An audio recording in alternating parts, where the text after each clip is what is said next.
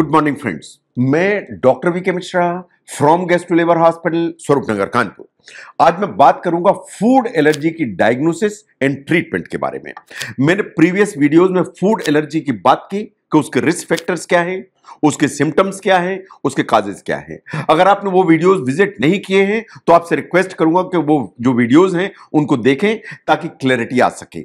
आज मैं food allergy की डायग्नोसिस एंड ट्रीटमेंट के बारे में बात करूँगा।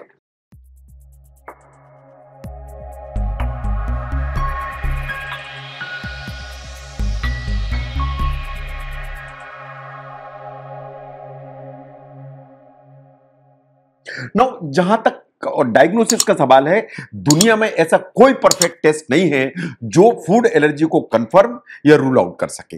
नो हम करते क्या है? अगर आपको फ़ूड एलर्जी के सिम्टम्स हैं, जब आप कंसल्टेशन के लिए आते हैं तो वास्तव में हम क्या करते हैं? सबसे पहला काम, हम आपकी डिटेल हिस्ट्री लेते हैं, आपके सिम्टम्स और आप जो खाते हैं, उसको समझने की कोशिश करते हैं that's number one that is symptoms and आपकी डिटेल हिस्ट्री नो इसके अलावा हम आपकी जो फैमिली हिस्ट्री है या एलर्जीज की, उसको जान जानना चाहते हैं कि आपकी फैमिली में किसी को कोई एलर्जिक प्रॉब्लम या आपको कोई एलर्जी की प्रॉब्लम तो नहीं है।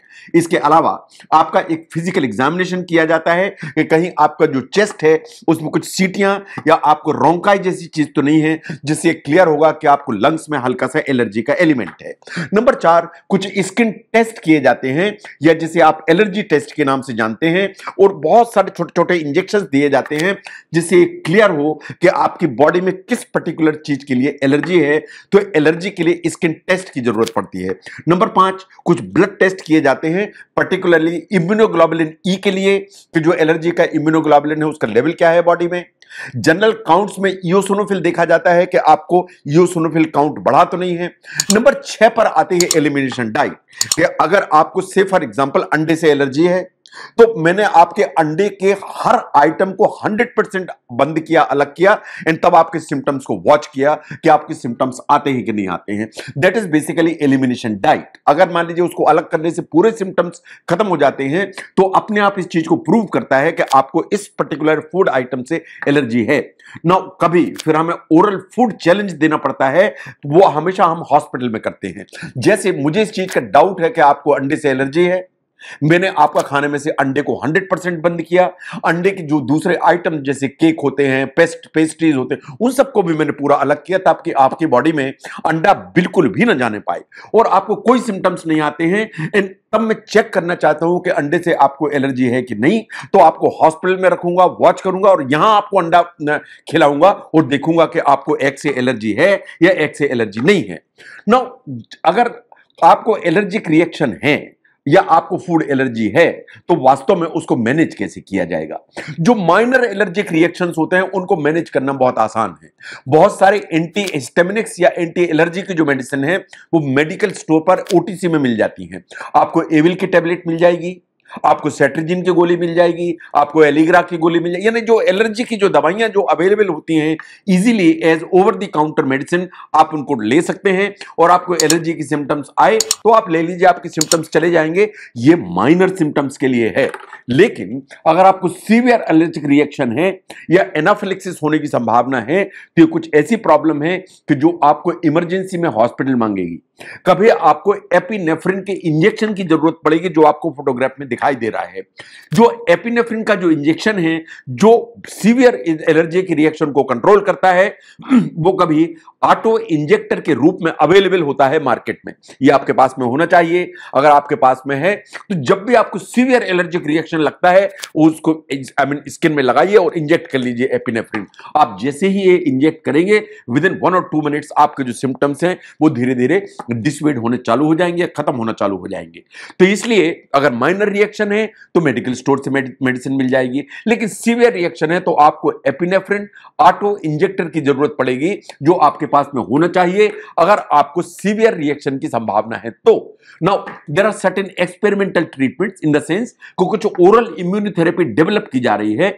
जैसे से फॉर एग्ज़ाम्पल किसी को किसी पर्टिकुलर फ़ूड आइटम से एलर्जी है तो उसके बहुत स्मॉल इंट्रोड्यूस जो है अमाउंट है, वो मुँह से या सबलिंगुअली इंट्रोड्यूस की जाती है। इन ग्रेजुअली इंक्रीज करके इम्यूनोथेरेपी की जाती है इस चीज़ को देखने के लिए कि धीरे धीरे जो एलर्जी है, वो खत्म हो जाती है या नहीं। कुछ ओरल इम्यूनोथेरेपी जो ड्रग्स हैं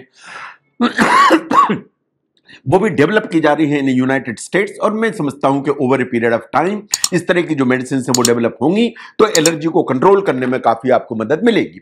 नो ये बात बिल्कुल सही है कि lifestyle and home remedies important है, लेकिन आपको इस चीज़ पे ध्यान देना है कि आपको डोंट आप जो है एज्यूम करने की ज़रूरत नहीं है। अगर आपको एग से एलर्जी है तो आप हमेशा ये सोचिएगा, अरे पिछली बार तो दर्द हो गया था, इस बार कुछ नहीं होगा। ऐसा नहीं है।